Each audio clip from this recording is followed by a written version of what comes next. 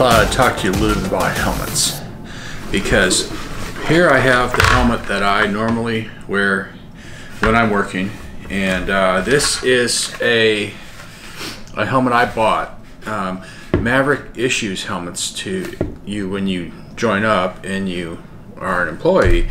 Uh, but I found that um, I kind of wanted to get one with a different harness system than the one they had. This is a pretty good helmet actually. This is an MSA High-Vis V-Guard. The V-Guard would be this V-shaped thing here.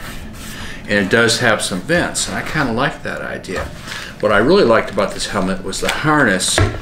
Um, it holds in from the front, and then you can dial in and tighten the back with this control knob, uh, which I found I liked a lot. So I could put it on, and then I can dial it tighter. It kind of sits, this thing sits low enough that it kind of holds it on your head, but it will not stay on your head if you do this without any kind of a chin strap.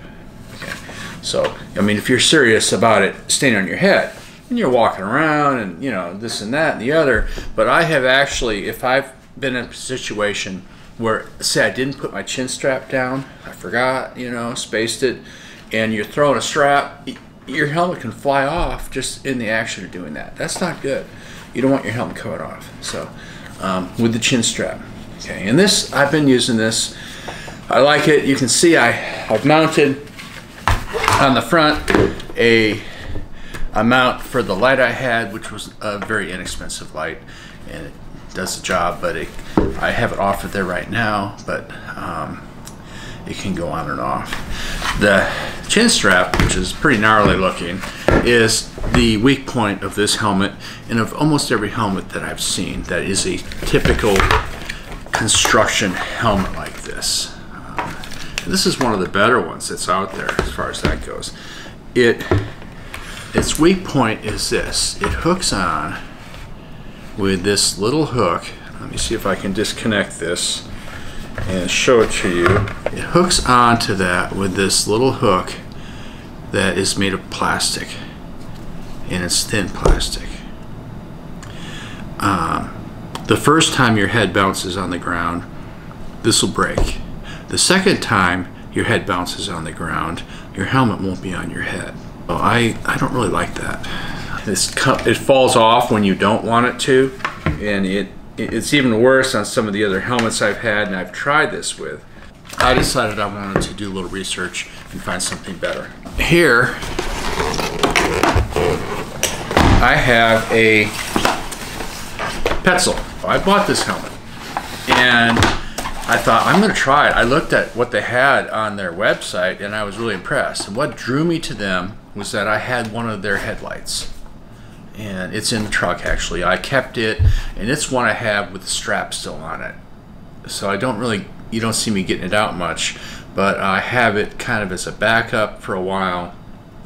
But I decided that I wanted to up the game, headlight wise and helmet wise. So this is what I got. This is the Vertex Vent, which and it comes with a little pamphlet. If I take it out, set that over here. Petzl as a company is they're really into safety gear. They make uh, two kinds of gear. They make industrial gear and then they make like sport gear. Sport gear is like caving helmets, um, climbing helmets, rock climbers use them, that kind of gear. They make uh, a lot of lighting for specialized activities, mainly headlights. Uh, this is their industrial helmet. They make about four or five models and they had different colors. And what drew me to this one was that it had um, adjustable vents that open and close. And you know that with a helmet, ventilation in the summer is so critical. And in the wintertime, what I usually do is I wear this hat, which is like a very thin, um, you know, just a stocking cap and it just works great. I like wearing my helmet in the winter because it keeps my head warm and it's the right amount of, uh, of everything. So I kind of like this. In the very top, it has a foam piece. Then it has a suspension, which is fairly similar to this suspension over here. you know, the webbing. The nice thing is that on the front they have this removable foam and they have an extra set they gave you which is thicker which I don't think I need because I've got a pretty big head. And this adjusts and the adjustment for this is by two wheels on the side. And what these wheels do is when you adjust them it moves in the front and the back at the same time. It doesn't just move the back in if you ever seen somebody wearing a helmet, they have a really small head and their helmet's like sticking off way out the back, you know. Um, this is really a step up in that regard. The one thing that, that really drew me to it though was this. This is how a helmet should attach if you really want to be safe. You know, the webbing goes down. It's like a, it's a lot like a bicycling helmet uh, in that way.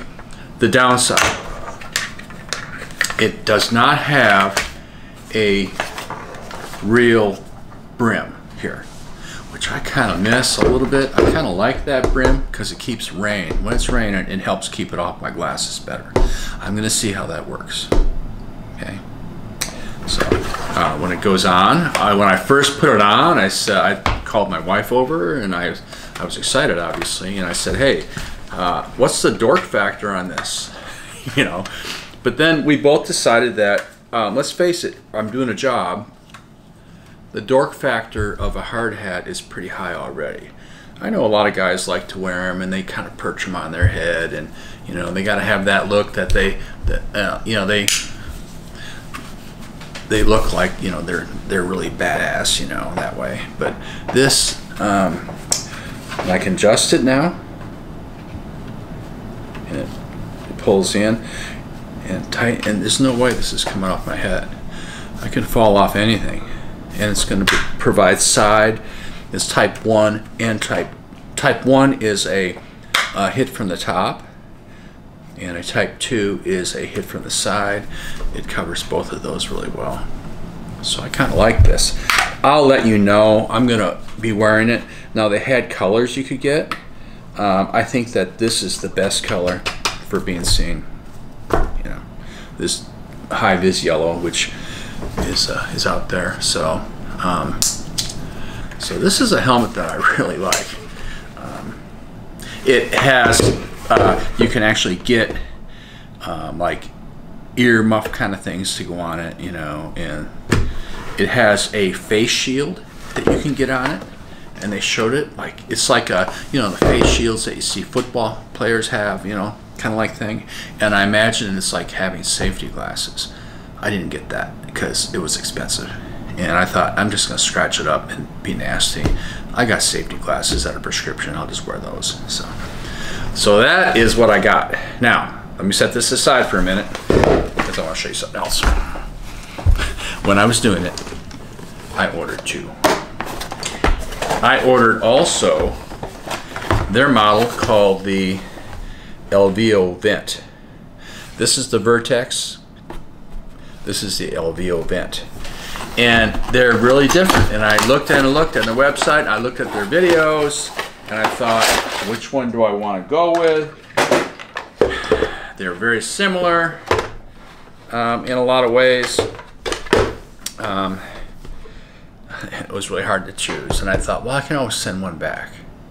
But you know what I'm going to do? I'm going to keep them both. Because after looking at them, I decided that the this the vent they're shaped slightly different. You see, this one has a little bit more of a, a peak right back here. This one has these vents. These vents are not closable though. The biggest difference in these helmets is that this one has a large foam pad covering all the way down the sides in the center here. So that is a real nice crush zone. This is actually a very, very nice helmet that way. When I weigh them, you know, this one here, the Alveo, is much lighter.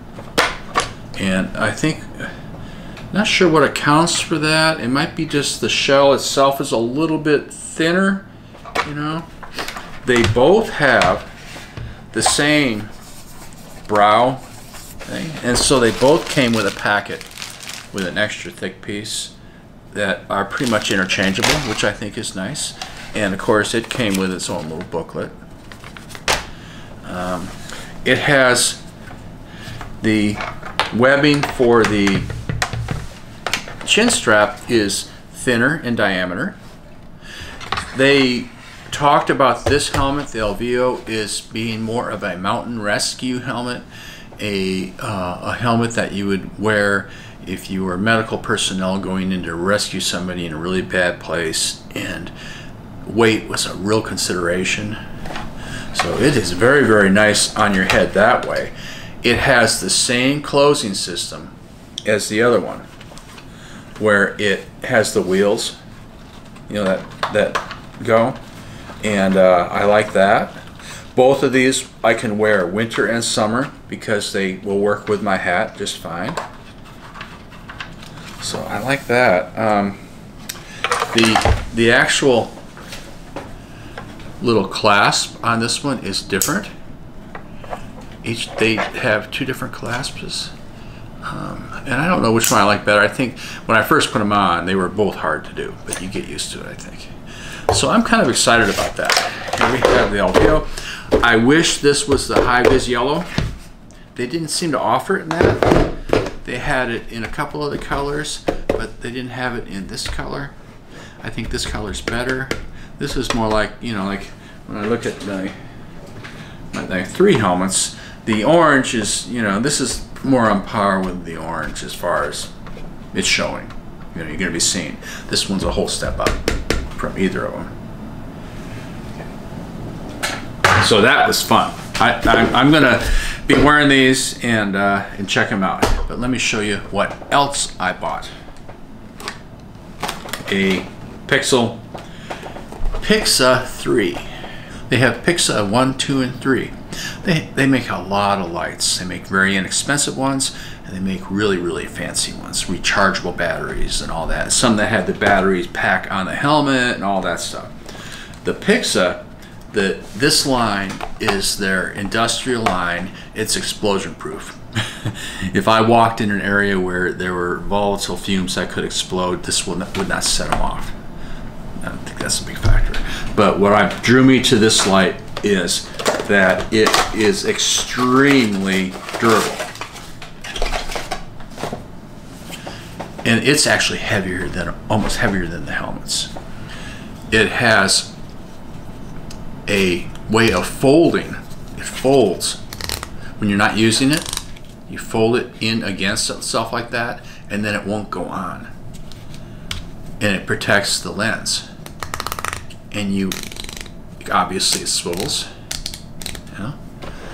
This is the Pixa 3 though, and you can see the nice thing about this, it hooks on the front of my helmet very easily and then I can turn it on. This knob, it has three settings. I have a general floodlight. I have a floodlight with a um, spotlight, so if I'm walking, it illuminates around me evenly and far ahead, and then it has just the spotlight. So, um, this is like the nice one. I thought I was getting the two, which was a little less expensive. I guess I went overboard a little bit. Um, the color of it matches this helmet really well. Slightly, actually slightly different. This is the kind of light that, what I like about this light is I don't have to leave it on my helmet all the time because it comes off so easily. And then I can take it and stash it and it'll be protected and work really well. It's crush proof to, you know, I don't know what they said. Uh, you can run over it with your car, basically. And it's waterproof. You can take it underwater. I can take it in the sink and scrub it with a toothbrush. That one of the coolest things is this. The lumens, they stay constant. until the battery almost drains and then they go off into emergency mode instead of like a lot of batteries you know things they drain instead of going down slowly and getting dimmer and dimmer and dimmer this will hold its uh, its light for a long time. It takes two AA batteries and uh, so that's the exciting news. So tomorrow when I go and load bar tomorrow morning I will be sporting it won't be dark so I won't have that on there, but I will be sporting my Vertex and my um, Pixa Haslock Pixa 3 light will be handy. So this is the Petzl stuff. I'll give you a report. Um, oh yeah, also it came with a headband if you want to move it that way. You can I can put it on here. I think I have to slip off the helmet mount and then it goes on there and it slips in here. And what's really kind of curious is I have my other Petzl light that's in the truck on the headband and it's just their sport mode. It probably costs 20 bucks, 25 bucks, maybe less. And I'm wondering if maybe um, it will fit in this and I could always use it on my helmet as a backup because it's the same company. So I would imagine all their lights do that. I hope you uh, I hope you look after your noggin if you're out there driving. All the companies like Maverick, they're real big on safety. And if you show up at a shipper or a receiver and you don't wear your personal protection equipment, you know, and I see a lot of drivers from a lot of companies when I go places. They wear it if they have to. But when they're up on their trailer and I see them and they aren't covering their noggin at all, you know, no helmet, it doesn't take much of a fall to, to cause real issues. But it's a serious thing. Um, the companies do it, they do it for us, you know, they want us to be safe. And they also do it for the insurance companies. The insurance companies require it.